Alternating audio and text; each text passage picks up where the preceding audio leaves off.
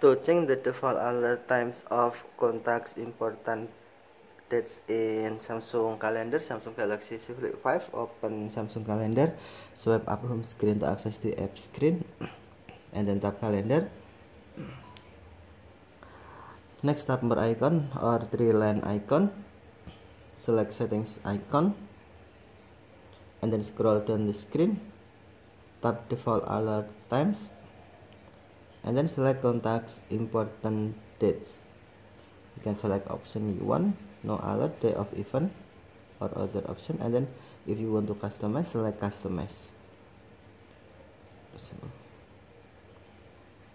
And then tap back button to save.